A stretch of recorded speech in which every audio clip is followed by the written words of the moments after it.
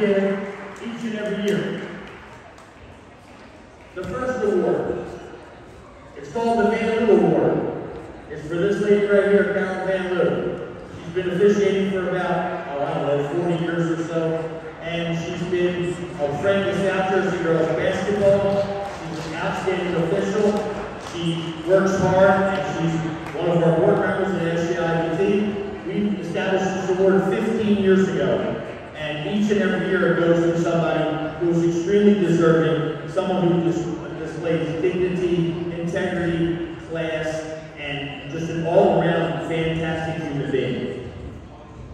Here's a quote from the assistant coach. He is someone who makes a positive influence every day. He's a great ambassador for his high school and girls basketball. He approaches each day with honor, dignity, integrity, and class. He is a great coach, but his greatest attribute is his connection to his players.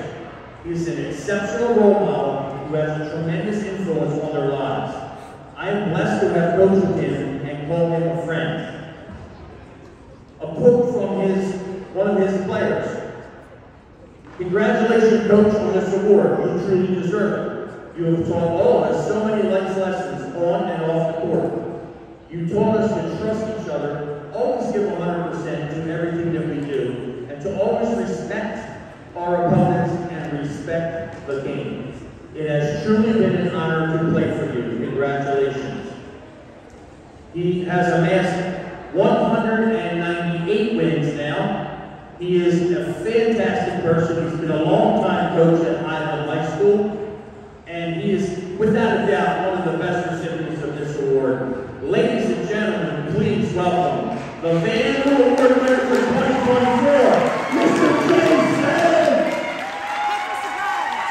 Come on, Jason.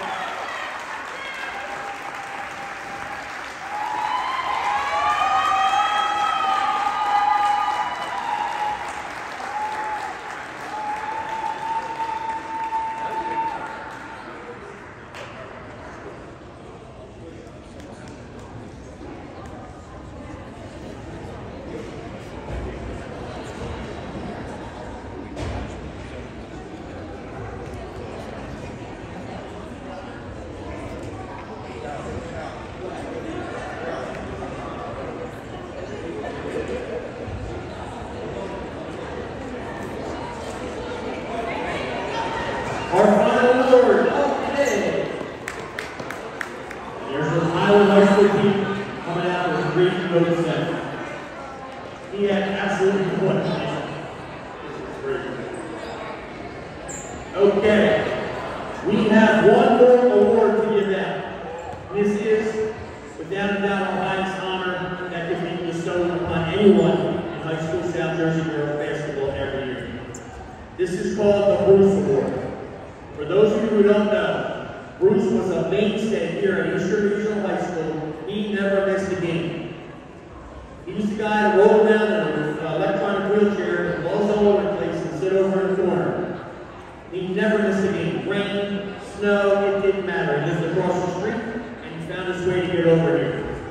Unfortunately, Bruce tragically passed about seven or eight years ago, and Bruce Jackson will always live in our minds and our hearts was persevered. He, he was a guy who just did everything that he could possibly do to support girls basketball. No matter what his condition was, he was here always. He was loved by everybody here in Eastern. He was loved by everybody in South Jersey. And we certainly love him from the SJIBT. This team, this team will won this award this year, they returned six season seniors, including all five starters. The 2023 season had the potential for a special season for the Sterling Lady Knights. On July 18th, senior Bridget Dixon tore her ACL during the summer soccer league. The Knights lost their floor general and first team ball group and first team All South Jersey guard. Fast forward to December 4th, going up for a rebound, senior Kate Minot dislocated her shoulder, tearing her labrum in the process. That's two.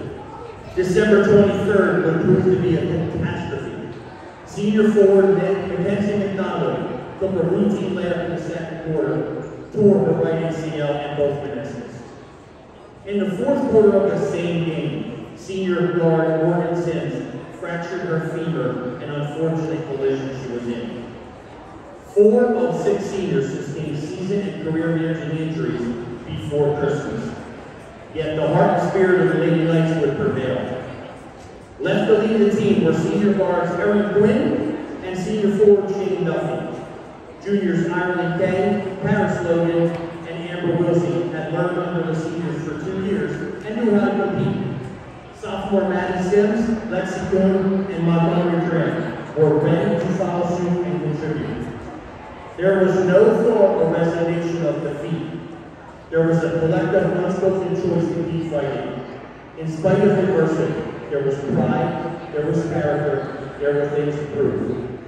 The Lady Knights found their footing after a while, rattled off an eight-game winning streak, competed hard in every game, each contest was a battle. They showed heart, they played hard, they won two games with only six, six dressed players. The four injured seniors sat on the bench every single game, always there because they were a team. We is greater than me is the mantra of the Lady Knights. It is the only thing that matters to them because it's not about winning or losing. It's about being strong, resilient young women of courage and dignity. It's being part of something greater than the game. It's about being a team. It's easy to be a good teammate while things are going well. True character is shown in tough times. Who truly are you shown times of adversity?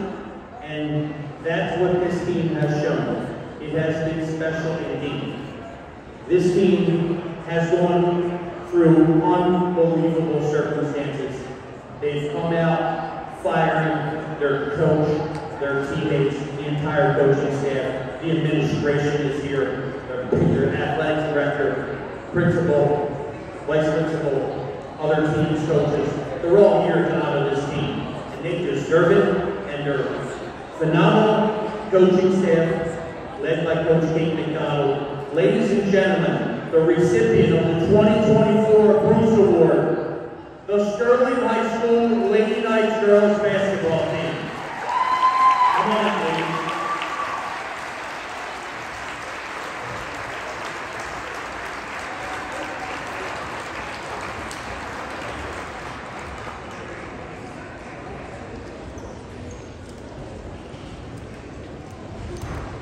Led by Coach Pete McDonald, Coach Chris Jones, and Coach Kenny McDonald.